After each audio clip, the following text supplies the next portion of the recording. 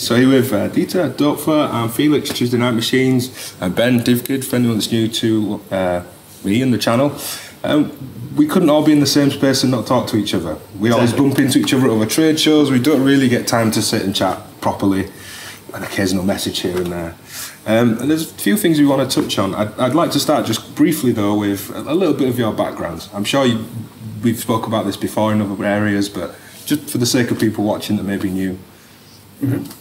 Do you want to start, sure. Felix? All right, cool. Um, yeah, I'm Felix from the Tuesday Night Machines YouTube channel, and I do lots of modular stuff. I mm-hmm. started uh, with Modulus in 2012, I think, with the Doepfer system, of course. And the thing is, like, I, I couldn't really get like one whole system um, at that time, so I thought, okay, what was what might be good alternative modular? And I thought, hey, I'd learn to play the theremin. So I bought two theremin antennas yeah. and just you know an oscillator and yeah, and the VCA, and that was it. And then I practiced like on a in a Doepfer case just with two antennas, the theremin, until I could afford more modules and uh, and go on with that. And that was kind of funny, really, looking back, because it was a little weird. I think.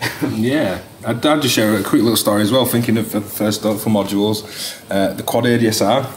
As soon as I got into module, I was like, "Can I have four of these?" So I've still got that. It still gets used. I think massively underrated the um, A189, the bit modifier. Yeah, mm. it, does, it does a ton of crazy stuff to CV. And I think people don't realise these things. Spring yeah. reverb is still in the case. I remember watching Raul's World of Synths. Right. And I just binge watched the whole thing. and that's how I got my first module. Yeah. yeah. That's but the only content that was out there back then, right? It yeah. was Raul's World of, World of Synths yeah. with Doepfer modules, right. and it was great content. It still is great content, but I think he stopped, right? He didn't. Yeah, I don't think he's making. But there's a lot. If people haven't seen Raul's World of Synths before, uh, there's a lot of videos yeah. to watch and a lot to learn from them. But just briefly, what led you up to ultimately starting the company and building well, modules? I can make a two-minute tour or a yeah. twenty-minute tour, whatever you prefer. Yeah. Okay. I started uh, during my studies. I studied physics uh, in Munich and was playing in a band and. Uh, sometimes the amplifier was damaged or the wah pedal or, or the mm-hmm. fuzz box. So I started uh, to try to repair the devices. And uh, very soon I uh, was attracted by effect units like phasers, flangers, mm-hmm. fuzz boxes, wah wah, and so on. And that's all, already a, a, little bit into the direction of synthesizers because uh, it's also electronic sounding yeah. stuff. Uh, well, and uh, when I finished uh, my studies, uh, I had to decide uh, to go to the industry, mm-hmm. working as a physicist, or do my own thing. And I decided to, to, to do my own thing. And I remember that it was a problem with the family. oh my gosh! Now he is ready with his study and drops away. Mm-hmm. But in the meantime, but was it, they, they think different. was it modular synths from the start, or did you? No, no, no, no.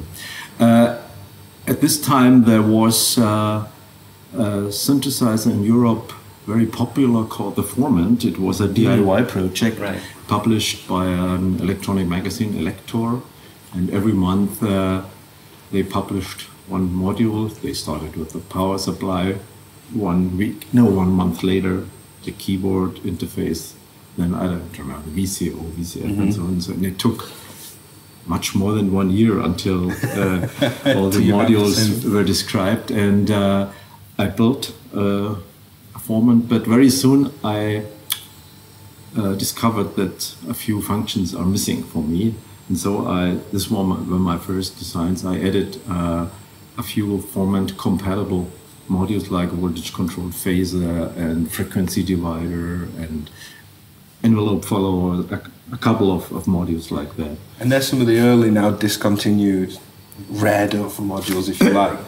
you had a frequency shifter and a, a, phase shifter, and I guess components are not available for some of these things anymore. Uh, yeah, but the, for the frequency shifter, we are working on a redesign because oh, a lot good. of customers are asking why do you no longer offer a frequency shifter, but uh, we are working uh, on a redesign with the parts which okay. are uh, well. Yeah, this was uh, the beginning. The next uh, important step for me was I heard about Curtis Electro Music, CEM, which uh, were used in virtually all polyphonic or even monophonic synthesizers at that time. And I had uh, the chance to meet Doug Curtis Okay. and uh, to ask him if he would be interested if I uh, take over the European distribution for this for his circuits. And uh, after a couple of uh, negotiations, uh, he agreed, and so uh, I became the European distributor for Curtis chips. And then I started uh, one of my first synthesizers, which were uh, sold to the public. Earlier, I did uh, also some uh, some other stuff, but it's it was mainly just just for me. So the first product was based on Curtis Curtis chips. It was called the Voice Modular System. It was uh, complete voice on one board and could be uh, expanded by uh, additional boards, expansion boards with LFOs and, and noise and, and, and so on. Was, so I think this was the first uh, product uh, where we or where I was uh, recognized by the, by the public. Well, and then uh, we designed mainly uh, MIDI keyboards because they're interested in, in analog synths. Yeah, When went really, it went really down. because everybody wanted to have a DX7 and, and all this digital stuff. But I always had in mind uh, I want to build some someone uh, something modular, and uh, then early in the 90s I started with uh, the compact synth MS404. It was uh, the first. Uh, complete analog synth I designed, and uh, it was it was selling very good. At this time, uh, the prices for second-hand units like TB303 or TR808 were incredible high, and I said, to why is that? Yeah. Is it's, it's, it's not a problem to build uh, similar devices uh, with modern uh, technology. Yeah, and that's why we designed the MS404. And after the big success of the MS404, I decided, okay, now I want to have a modular. Okay. Because in the early days, I've seen um, Emerson Lake and Palmer with live Mm-hmm. off stage with something that looked like a telephone distribution Yeah, device, yeah. and but the sound was so great, and I said I, I want to build something like that my own. And so the first modules are nothing but the the circuits of the MS404. Okay. So the VCO is nothing but the VCO Yeah. for the, the A120 VCF is nothing but the VCF of the MS404. The ADSR 140 is nothing but the ADSR of the MS404 and so on. And uh, I remember when I said, okay, I want to go to Musikmesse Frankfurt with a small modular system, everybody said, eh, nobody's interested in that stuff. But okay, if you want, you can have a small place behind the keyboards in front, a lot Okay. of, of the fat keyboards. And I had my, my small uh, modular synth for demonstration. I think it was in 1994, 1995, something like that. Well, what happened? Nobody, nobody was looking at the keyboard Okay. but there was totally crowded around uh, Just one my- just my, my small modular stuff. Well, well, the rest is history. Okay. Yeah. Yeah. So, ha- so from that point, mid '90s, all the interest in the modular. I mean, how big is the company now? Company now, what has it gone from? Just you to Uh, how many people? yeah, it's it's it's, um, it's very interesting. Uh, I started alone. Then my girlfriend Sibylle uh, Hmm? Okay. joined the company, and uh, it increased more and more. I think maybe seven, uh, eight years ago. I don't remember. We had uh, about ten people, but then we decided uh, to outsource the production because at this time everything was uh, done in the company. The assembly of, of the PC boards, the soldering, the mechanical mounting, testing, packaging, everything was in the company. Um, one of our employees decided to go to Argentina. Another one uh, went away from the company, and so I said, okay, should we uh, look for new employees or should we try uh, external production? And uh, I decided to external production. In the meantime, we are back to four. Okay. But we do more than two or three times the sales of the time where we return. Yeah. So the outsourcing allowed you to grow Yeah. better. Right. So we, I, I can focus uh, on, on development and designing, and uh, all these other works combined with a company with so many people, because sometimes there are problems between the employees and so on. So it, it takes too much time. So Yeah. now I can focus uh, on what I really like to do. And at that time, did- is that when it moved to? Uh, did you move mainly from through hole to surface mount technology at the same Partly, time? partly. Uh, to speak the truth, I still prefer the through hole. Okay. Uh, there are two reasons. We have a lot of customers who want to modify their models. Yes. So, would it be possible to have the sensitivity of this input a little bit higher or smaller? Mm-hmm. Or I, I want to add this or that. I want to change the characteristics of a, of a control and something like that. And so we say, okay, look at the board, the resistor R24, change from 100 higher kilo ohm value, to, or, to yeah. 47 kilo ohm, then you will have uh, Longer attack time, yeah, whatever longer it is they're attack, looking whatever. for. But this would be uh, very difficult if you use SM, SMT. Yeah, yeah. And another reason is uh, the service. There is a problem uh, that uh, you can add a lot of documents. Uh, you have to pay attention to put the, the bus board in the uh, the connect bus connector in the right position. You have to pay attention that uh, not to have electrostatic charge when you touch the modules. You have to pay attention to use the correct power supplies. We have a lot of customers who build their own power supplies, which may Yeah. uh, generate the wrong voltage. So uh, there is some chance uh, that the parts are damaged. And replacing an, an SMD chip with many pins is, is the help. Yeah. Yeah. And the problem is, for example, if you have a board which is not working and you have 10 chips of, on board, sometimes you don't work. know which one is. Uh, in through hole technology, you, you simply replace one after the other because there are sockets and it takes two minutes.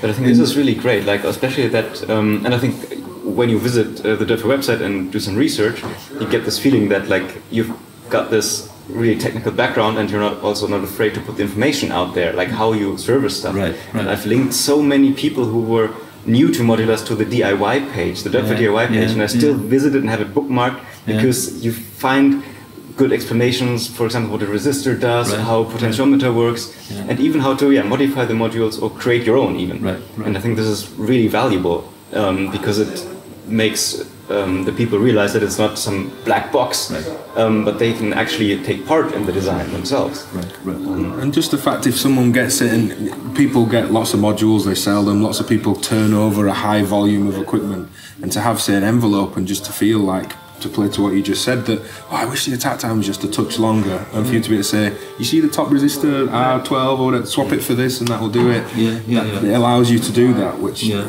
I you- well, you couldn't really do in surface mount. We, we also have a, a page which has to be updated. Okay, I know, where uh, there are the silk, silk screens of the of the boards. Ah, okay. Okay. And you see, there's capacitor. I don't know C4, and this is responsible for the Ah, okay. for the time of, of the envelope. For example, if you double uh, the capacitor, you double the times, something like that. Uh, it's not complete for the newer modules; they are still missing. But uh, the idea is uh, to give uh, all customers documents where they can see how to change parts to, to adjust uh, the functions for, for the application. And while we're on topic on the new modules, I think because that is very interesting right now, you just released the polyphonic Yeah. line of modules, right? Yeah. Um, and I think this is a big step for modulars, right? Because it was usually monophonic because it was such a hassle to tune several voices. Then you have to convert MIDI into a polyphonic uh. CV. Um, and really looking forward to what we get out of this transition or out of this new um, new world now. Because um, having that in one module is like super useful. Yeah, but for the uh, polyphonic modules, we had to use SMD technology. Oh, of course, because to it fit- just to fit that in. So usually we have uh, the main board in front, which is still through hole, where you have access uh, to to the main functions like. Frequency range intensity of the modulation where you can which can still be modified. But on the back of it there are in smd technology the, the filter boards which there is no access to the to the parts. But the, the main functions are still in, in, in through hole so that you are able to adjust it uh, to your application. I think what's really interesting with the polyphonic modules that they are presented how they would be on a polyphonic synth because you could build a quad polyphonic system if you just had four of everything. Yeah. Mhm. You don't need four ADSR control, four attacks, four decays, four sustains because that isn't how a polyphonic synth works. Yeah. It's one set of controls. You raise the attack time, every voice has a longer Right. attack time. Right. And it's presented in the same way, which allows for all the articulation that you would expect Yeah. without having to go in. "Ah, I wish I had a bit more release, and you have to find four of them. And, Yeah. Mhm. Yeah. and the same for the filter as well. It is, Right. You get a polyphonic synth, it's, it's not four cut-off controls, or rarely. Mm-hmm. Um, and I like that it's presented in such a way. We should say this was developed, that all of the uh, smaller version of the oscillator, and then the quad with a strum yeah, yeah. as well. Yeah, yeah.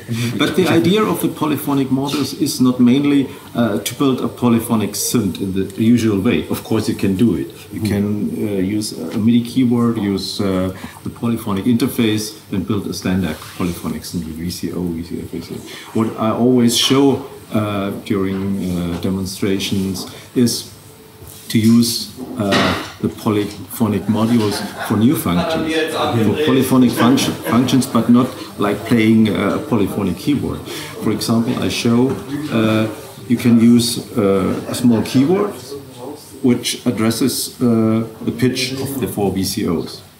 But then I don't use uh, the gate outputs of the interface, but I take the gates from a trigger sequencer, for example. Yeah. So you can uh, play chords, but they are triggered not by, by And that also kind of quantizes the performance as Yeah. well. So for people that aren't as comfortable, Right. but Right. they know the chord shapes that they want. Right. Or That's in a nice another example, I use uh, random voltages, quantized random voltages. Uh, they are generated by, by a random source, which is followed by a quantizer. And from the quantizer, it goes to four sample and holds. We have a module which has eight sample and holds. We, I just use four of them. And I uh, connect the outputs of the four sample and hold to the CV inputs of the VCO. And for example, I use uh, uh, the triggers from the trigger sequencer. In this uh, patch, you generate polyphonic random structures. And musical because of the Yeah, quantizer as well. quan- and, and you can adjust the quantizer that it generates only tones uh, from, from a major scale or, or major chord with the sixth or the seventh, and you can uh, play polyphonic sounds totally different than playing on a, on a keyboard. Well, that's the idea of the uh, polyphonic. And they models. still have the filter still has the individual CV inputs, so you could Yeah. take four drum voices from somewhere and Right. still CV Right. each, each envelope individually and for the filter individually. Right. It seems very flexible. Yeah. But with the advantages we were talking with it being developed with Ströme that you said, well, just use four of our oscillators when they were getting into polyphonic modular, Yeah. but they want the master control, Yeah. which is the kind of Right. Polyphonic keyboard aspect. You have a set of controls Right. that influence the whole Yeah. system. Yeah. For example, the, the, the filter modules are very complex um, because if you want to control the modulation amount, you need a VCA Okay. on, the, on this filter board. If you want to control the, the audio level, you need a VCA. So the filter board are not just filters, there are also a lot of VCAs on it because uh, for each voltage controlled uh, amplitude you need a VCA. You need a VCA for the for the envelope amount, a VCA for the for the audio level, a VCA for the for the resonance. And is matching those VCAs still a hard thing to do, or is that gotten easier? Uh, there are trimming. Uh, the, the VCAs are are very very good, so they are they don't need to be uh, adjusted. But for example, we discovered that it's essential uh, to adjust the Q, the, the, the resonance, because if you increase uh, the resonance, the filters should start to self oscillate nearly at the same point. Right. So we, we really have to adjust for each of the filter boards that they uh, start self resonating at the same position of the control. So it's it's uh, a little bit of, of, of adjustment, but uh, it's necessary. In, in, the, in the first prototypes, we didn't have it, and the first uh, filter started to self oscillate at position seven. The next on the seven point five, and uh, as it might be interesting, but uh, it should be better that they uh, behave the same. Yeah. There's also the new, and it's hard to escape because you could see it from such a distance, the new LED modules as well. Which leads to, me and Felix were talking, does this lead to video synthesis in any way? Or, or more external control for lighting? Or No, the, the, the, the idea came from streaming, uh, which were uh, performing yesterday. Mario said, uh, I have always a problem on stage when it's dark. I can't see the position of the knobs and, and, and the patchings and so on. I need some kind of, of, of decent uh, illumination. And I said, okay, we, we can do this, but it's boring to have uh, a static uh, illumination.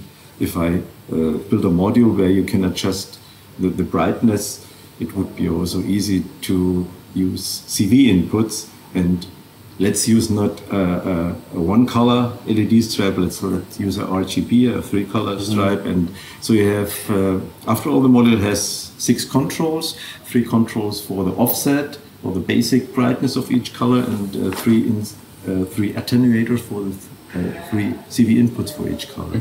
So it's up to you. You can use it static when you are patching, for example, or during the performance you can use, for example, the envelope of the bass drum to control the, the, the red lights and the noise shh, for the blue ones. And Yeah. So, so it's up to you. And will that be released for sale, or is that a It- special? no, it's already. Oh, it's uh, already- uh, last week, the first modules were sent to LX4 to our dis- distributor, and Alright. they should be in the shops during the next weeks. Yeah, and uh, I have to uh, point out that you get the module for the price, and the LED stripe is free okay, because the problem is that uh, it's very easy to damage the LED stripes. Uh, We damaged during our tests a lot of them. Okay. If you bend them, they are broken, and a lot of uh, the consumer ones that you can yeah. buy just yeah, but they are cheap. Uh, they- yeah, yeah, they they're- are they're- cheap. they're- yeah. That's why we say uh, we, we just sell the module and the LED stripe is for free. And if you want a longer one, or if, if the LED stripe is damaged, you have to buy a new one. But they are cheap and are, are available on, on eBay. And, yeah, yeah, they're really easy to get hold of. and you can also we we uh, tried different LED stripes.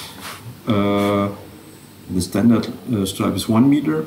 Um, you can, without a problem, uh, connect the two meter stripes. We also tried a five meter stripes, but in this case, uh, you should add heat sinks to the power transistor. There are transistors in there which are used to control uh, the brightness of the of the colors, and uh, they become a little bit hot for five meters. Yeah. And you also need a sufficient power supply. Uh, if the internal power supply uh, should not be used, which I recommend, there is a connector at the front panel where you can connect an external low cost Ah, okay. power, a wall wart power Yeah. supply, because the LEDs do not require 12.00 volt Mm, no, high precision, which, is- which is very expensive. You can use a, a, a low cost 12 volt supply for the LEDs. So what, what I wanted to ask you as well, and, and interested on where you maybe think this will go as well, Felix, that where do we see modular going? There's always been all the classic modules are covered in the Doepfer range. There's all like frequency shifters. You don't really see many frequency shifters. And as I mentioned, the bit modifier does some crazy stuff to CV that I haven't seen anywhere else. We've seen modules get really small. They seem to get a little bit bigger for a while generally in Eurorack and other companies. Um, you've brought in some smaller, more performance-orientated systems as well. Where, I mean, I know you've said before in interviews that you didn't think you'd be here when you started. I don't think anyone saw that module would be what it is now. Where do you Where do you both feel like it's going, generally? Well, I think there's still like a lot of stuff to be discovered that is that is like older knowledge. I think, like we talked about, like uh, Ken Stone or Serge systems, which uh, have modules which you don't really find in Eurorack form. Um, mm. Although they've been out there for a while and the circuits have been have been openly available, um, and I think um, yeah, the frequency shifter that's also a, a, a, classic circuit, I would say, right? Um, so I think that um, we will see some more branching out. Like it's not just this format that offers this, but all other formats might offer that as well. Um, and but I think we will also see more digital modules. I think there has been this shift where in a few years back people always wanted analog. Yeah. I think, and nowadays it's it's mixing, which is good because with digital you can do a lot or many other things than mm. analog, and you can just mix it how you like. Mm. Yeah. Well, um, I have been asked this question about the future yeah, of many several times, many times. you could even say, take the angle of I, I was always wrong. so. Uh, you could take the angle of where would you like to go, or where do you see the wider yeah. Eurorack scene going? Just, I think there's one trend which you already mentioned that more and more uh, musicians um, use the module live on stage, and they ask for more functions behind smaller front panels. Uh, that's why we also offer uh, in the near future uh, some of our standard modules in, in a slim version. Um, for me in person, the distances between the knobs would be too small. But uh, if the customers want to have it, and I understand, and I know like Ströme, they want to have small equipment, it, it's understandable. So I think that's definitely a trend uh, since a few months or even years, and I think this this will continue uh, at the moment. And I also agree that digital modules will will, will become more and more. And more. Are there ideas that you'd like to implement personally in digital, either yourself or working with someone else, or will we see a line of or more DSP focused for at any point? Or no, we we do not have the, the manpower and do not have the know-how for DSP, and so we say, okay, we know a lot of analog mm-hmm. designs, and we will continue analog designs. We will, for example, also uh, offer during hopefully this year another fully analog uh, frequency shifter. Mm-hmm. Uh, we'll, we'll do the redesign but we will not go into the digital domain, DSP domain. Of course, we also have digital modules like uh, MIDI to CV interfaces or, or the, the bit cruncher that you mentioned. These are also digital modules, but they are not audio DSP modules. No. They are control, digital controlling digital modules. And as both of you perform, um, I, I, unfortunately wasn't there, but I've heard amazing things about a set you did recently. Mm-hmm. I think you said in Frankfurt it was, and then Felix, you performed as well. Where do you see interfaces going with modular, or what do you personally maybe like with modular? There's theremins, ribbon, keyboards. The way that like the new trigger sequencer is very button heavy, mm. it's not menu driven at all, which is great. It becomes a performance feature. I feel. Mm. Where do you think that maybe control is going. So as things get smaller, I understand that four small VCOs is great because once they're in tune, they're controlled externally. So they can sit in the corner of the case out of the way. You're not maybe going to sweep the pitch like you would a filter pit off or something. Mm-hmm. So that I think that's great, and it's great that's getting smaller. But the whole system can't be smaller. Where do we maybe see interface and control going in the future? Yeah, I mean, I've been playing with the instrument, the expressive polyphonic um, device uh, in the past uh, year, and um, I asked you about MPE capability maybe yeah. in a Eurorack module, but also I think in the Eurorack we also already have lots of different yeah. ways to control it yes, expressively. Course, we have yeah, like exactly. distance sensors, right. touch, yeah. um, all that kind of stuff. Yeah. And the fact that a ribbon doesn't have to be pitched, the rhythm can change envelope times right. or depth, exactly. so we can already get there with some patching. I feel right. Um, I guess one could maybe foresee some kind of app integration like that you because people love to use their iPads and smartphones nowadays for everything. So one could see some kind of receiver module that's connected via Bluetooth and on the iPad you can just arrange the knobs you like as a performance pad really that is de and uh, decoupled from the modular. Even like sending stuff through the air and not uh, connected with a cable. I think that would be maybe interesting to see. But touchscreens are not great for everything, obviously. I think a nice way to frame the question to yourself, Dieter, is how how did you put that system together for the performance you did? How did you wa- want to interact and perform? Yeah.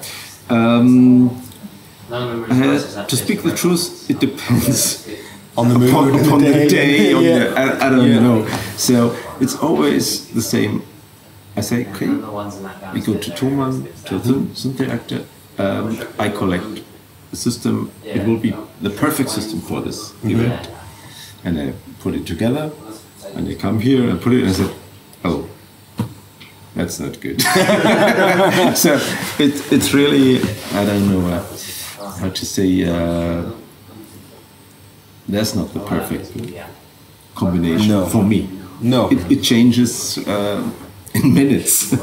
Because I have an idea, I want to do that, and now I realize, oh, this module is missing. But in this at this moment, uh, I realize it. Yeah. Yeah. So I always have, in the meantime, standards like I have my trigger sequencer, I have uh, a small keyboard for the, for the polyphonic stuff where I can generate chords. I have my analog sequencer. I have uh, my small. We have a small keyboard module which I use for transposing and for general start, stop, continue, reset, and so on. So these are the basics which are in each system.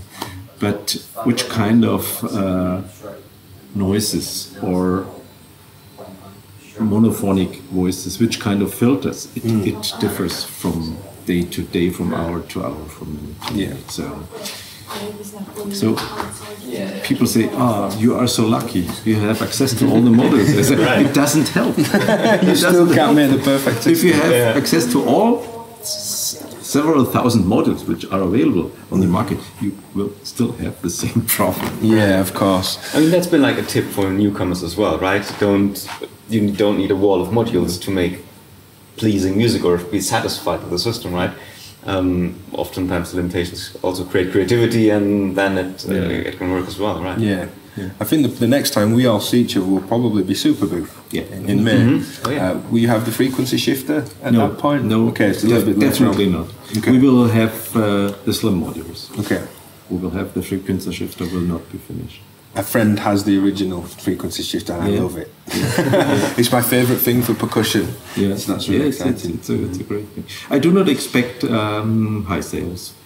I do it for myself because I also like, I, I totally like frequency shifter. We will add some improvements like, um, how do I say, there will be a VCA which closes when the input signal goes down. Okay. So uh, for each frequency shifter or even ring modulator, you always have a little bit of feed through. It's impossible Yeah. to obtain a ring modulator bleed without any feed. through. yeah. You have always a small bleed of, I don't know, minus 60 dB or, or whatever. And we will add an analog generator with a VCA. So if the input signal is zero, the VCA closes, but it can be adjusted. You can also Mm-hmm. leave it open. That's uh, one small feature we will add compared to the old one. Great. Well, amazing. I'm really glad that uh, at the Thomann Synth Reactor event we got a chance to actually sit and talk to each other. We Yeah. don't. This it doesn't happen, as we said. I did to have Felix, and that, that, that's about it. or, or we'll, you know, five minutes on camera and we don't get to speak to each other. Yeah. So yeah, thank you for your time. Thank you. And Thank see you. you at Superbooth. All right, cool. Bye. Thanks. Bye bye.